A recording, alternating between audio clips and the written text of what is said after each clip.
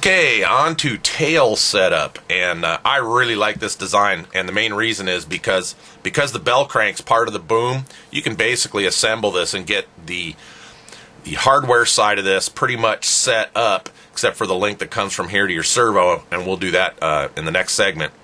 But uh, this is pretty cool. So um, basically, what you're going to do is go ahead and get your rod guides on and get them spaced evenly uh, down the, the, the boom.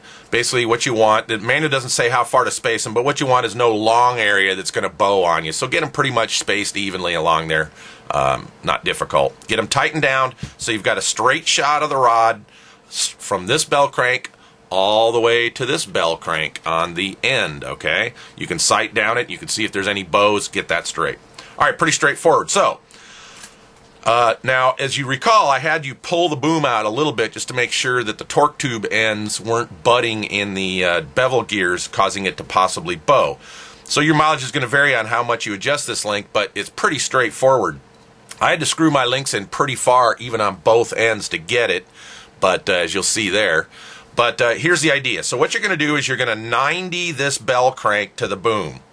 All right, so get that 90, and then you're going to adjust this rod so that, uh, and let me talk about this tail a little bit, so that you have some pitch against torque in your blades. All right, and the manual kind of talks about that a little bit.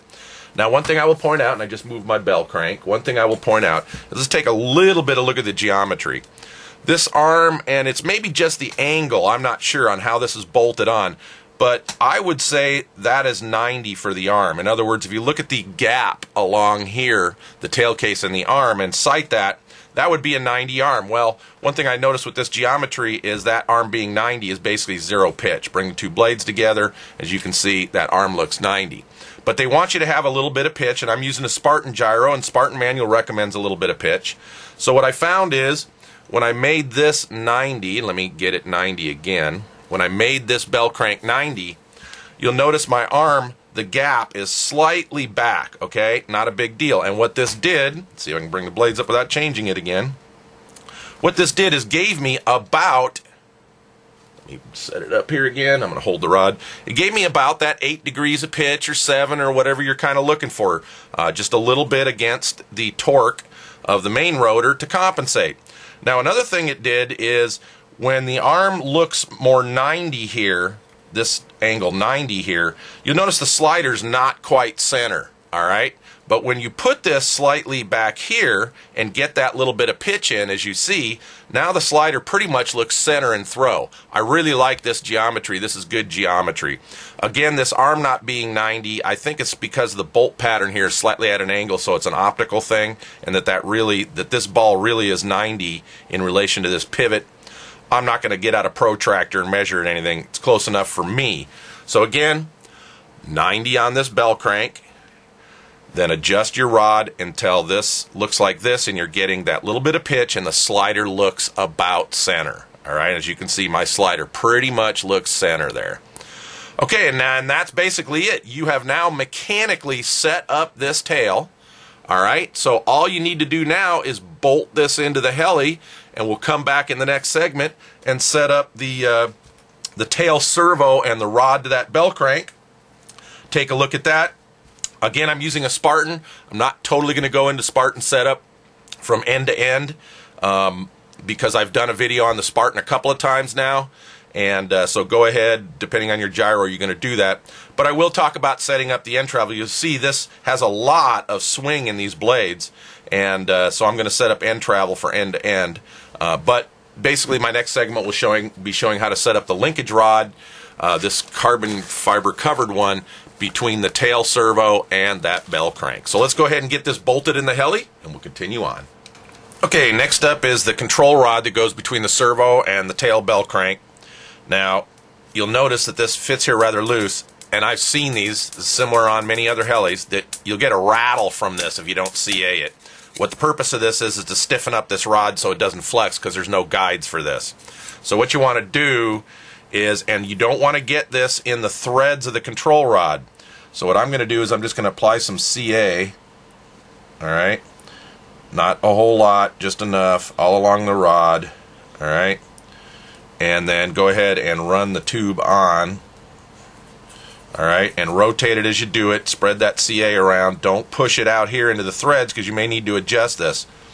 And then center up the control rod between the threads and go ahead and let that cure. And I may not got enough CA on there. A little more down here on the end.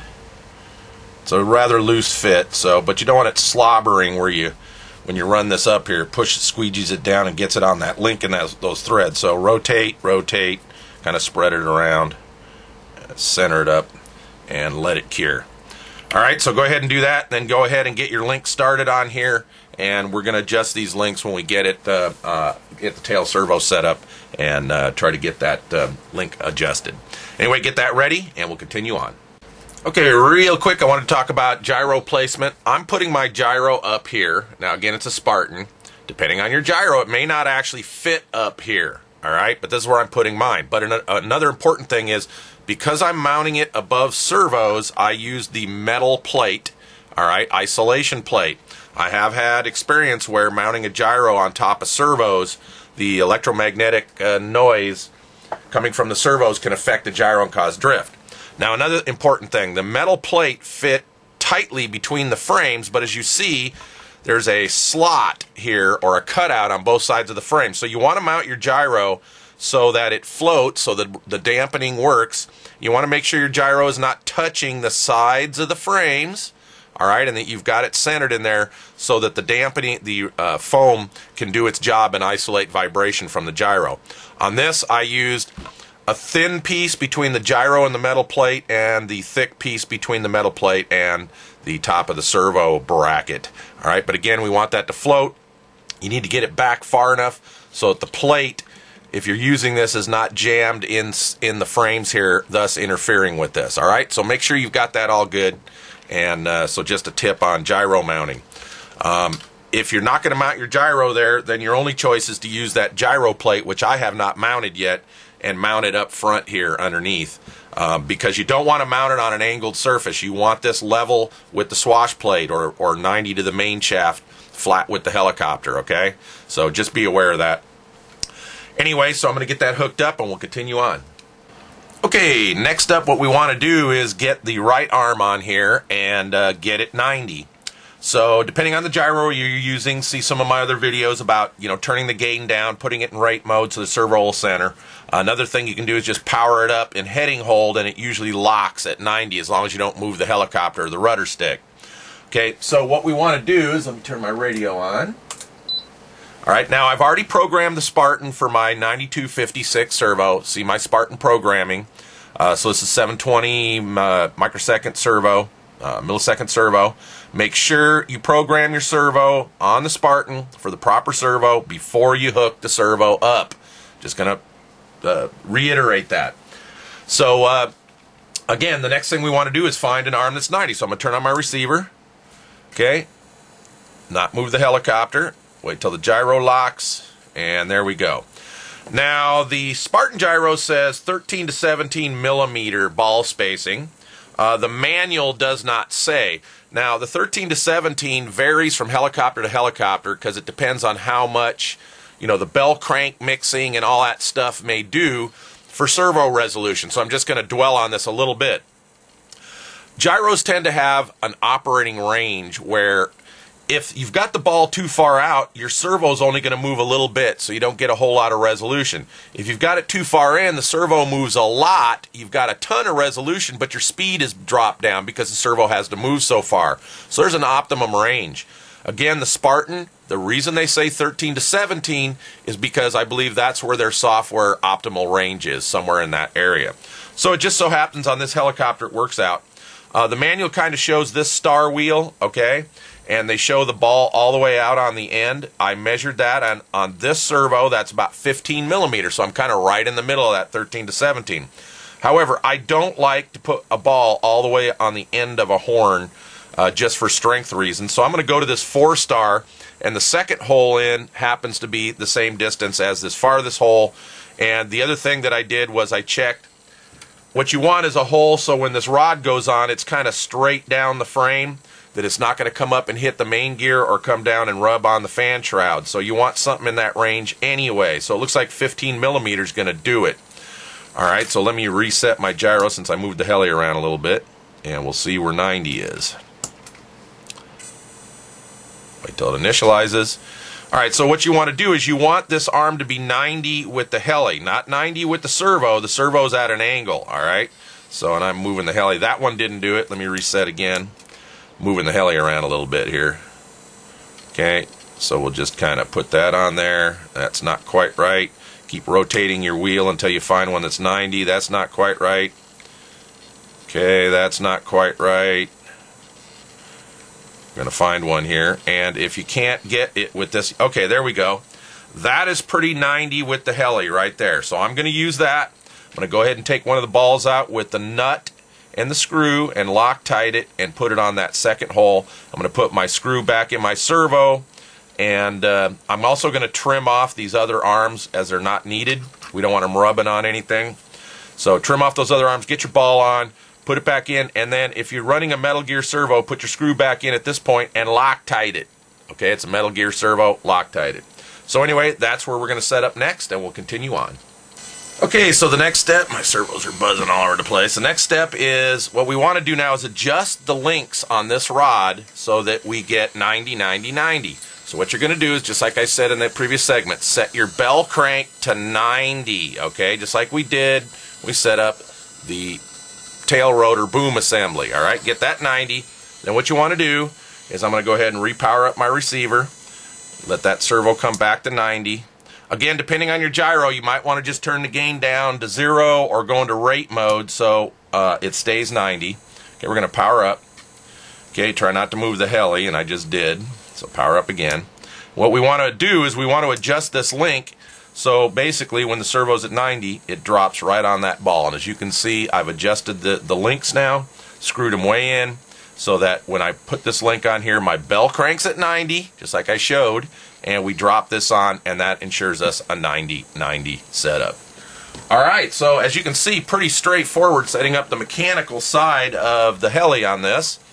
What I'm going to do now is I'm going to go ahead and set my rudder direction because with the Spartan, before you teach it uh, the proper uh, correction direction, which is done with the rudder stick, uh, you need to make sure your rudder is moving the proper direction first.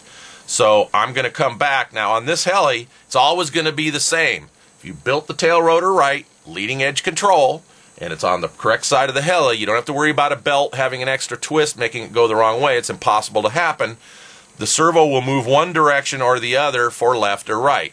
When I get that set up, I'll come back and tell you. We don't have to go look at the tail rotor and figure out which way the pitch goes. I'm just going to say which way the servo moves for left or right. And as long as you get that right, you'll be good to go. So let me get uh, continue on with the Spartan setup, and we'll come back and review that. Okay, so I just want to show you that uh, how on this radio I had to reverse the rudder channel uh, to get this working correctly. So I'm basically just going to show you which way the servo moves for proper uh, flight characteristics. Okay, so most people steer the nose. That is, if I go right rudder, the nose goes right, the tail goes left. That's normal where anybody sets up. If you fly the tail, then you're going to have the opposite direction of this. But you'll know you're right on any gyro and any servo uh, used on this is if I go right rudder, the servo should move back toward the heli. If I go left rudder, the servo should move forward toward the nose of the heli. So all you have to do is get that servo direction moving right, and you can't mess up. You don't have to be looking at the tail and everything. As long as you built it right, you didn't reverse anything. All right, so that's basically it. Uh, that's tail setup. I'm now going to go in and do my normal programming on the Spartan gyro to set my end travel and correction direction. Follow my Spartan videos on setting up the Spartan. It's pretty straightforward. I'm going to go ahead and finish that, and that's going to complete tail setup.